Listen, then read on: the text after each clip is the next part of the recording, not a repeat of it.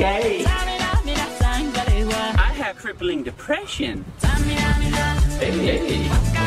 I'm gay. What a lovely day!